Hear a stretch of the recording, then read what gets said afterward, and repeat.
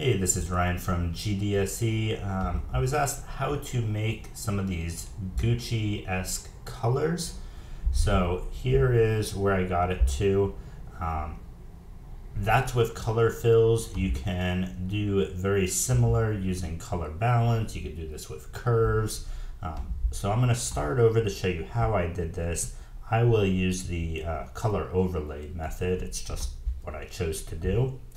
Now, keep in mind, I didn't use a Gucci model. Um, I did not have um, any serious lighting. It was just me in the park with a camera. I did take this picture. If you've been watching my 60 second series, I already did some uh, skin retouching just with dodge and burn. Now I've brought it over. Um, I actually did that in black and white, so I brought it over, put it back into color, and now I will go ahead, I switched over to LAB and let's get started. So we're looking at these colors and the main thing to keep in mind is the yellow on her nose and sort of the red in the cheeks, right? Red in the shadows. So same thing here on the guy, yellow, red. She's kind of hard to see either way. Here, even on this tiny one, you can see reds and yellows. So it's pretty pronounced, right? Yellow all over where like the highlight is. See, they probably used gels, um, proper lighting and stuff. Obviously, they also have the Gucci fashion and the hair is done, makeup, everything like that. But we'll see what we can do with our image. So to get started, I need to make some luminosity masks, which is what I just deleted. To do that, I don't want to see this because it will appear on your channels. So I'm going to go into channels. I will hold command. I'm on Mac. Uh, click on lightness and just make a copy basically. So that's just a copy of the lightness channel. Now I'm going to do command option shift and you'll see a little X appear. I can intersect and do it again. Um, do it again. Let's see. That's probably good. I'll go one more to see if I think I need to.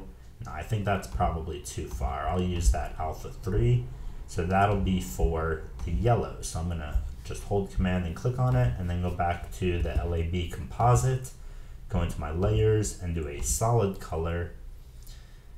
And I will punch in, I already did a practice run of this. So I'm just going to punch in the yellow that I found that I liked. Uh, if you're not doing this in a practice run, don't worry. This is you can always go right back in and edit this. You, like I said already, you could be using color balance or curve adjustment, whatever you'd like.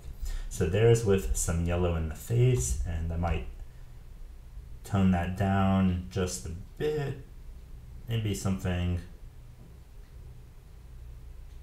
closer to here. We'll see where that gets us.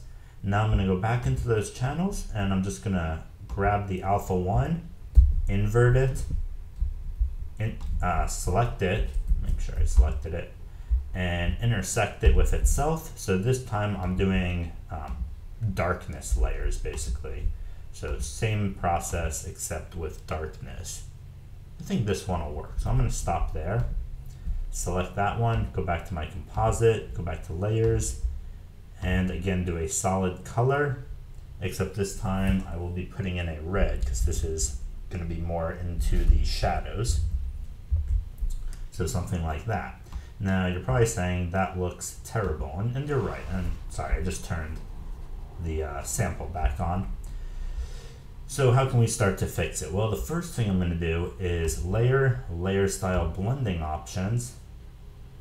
And I can use this blend if down here to start to control it a lot better. So I'm going to go into the A channel on this one and say if it's not sort of already red, let's pull some of this out. And you can see how that immediately made a, a huge difference on this, right? Um, I'll go a little past where I want it because then I'm going to use a layer mask to refine. Although again, this too is completely editable. I can come back in and adjust these sliders later. So something like this is starting to work. and you can see we're already very close to where it was. Like, like I said, the lighting's not the same. Also, keep in mind dark hair versus blonde hair. As you can see, all of the women in the Gucci look have blonde hair. So that's going to reflect the yellow more than the red, where in our model, we've got a lot more of the red than the yellow. All right, so what would I do next? Next, well, I could do the same sort of layer blending on the yellow if I felt it needed it. I think it's actually pretty good how it is though, so I'm not going to do that. What I will do is come switch over to the mask side here, which you could see if you hit Alt. I'm just going to click on it, use a brush, uh, set to a low flow and a uh, white fill, and I can add a little bit more magenta where I feel it needs to be. So you can see how there's a lot of magenta on their cheek, sort of bringing out that reddish cheekbone. So for them, a lot of that was probably makeup and lighting and camera. I'm just gonna go ahead and add a bit using the layer mask that we just created. So something like this, maybe a little too far down here. That's looking pretty good. Uh, could maybe add a little more just in this shadow area too. Uh, went way too far on that, hold on. So just very gently like so.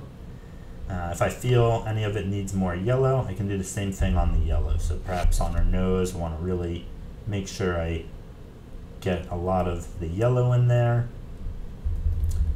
Maybe add a little right here too. And that's really all there is to the Gucci styles. The rest is just refining it, lighting. So like here, I would probably go in and also make sure I pull out anything from her hair, maybe a little bit of the red that got into um, going the wrong way. Switch to black and then make sure I pull it out from her bangs a little here. There's this spot right here that needs to be cleared up entirely. So, like I said, the rest is really just about refining it. And you, you could have done this with color balance or curves or anything you want. Um, but that's pretty much all there is to it. So yellow in the highlights and a reddish approaching magenta into the shadows. And there you go. Thanks for watching.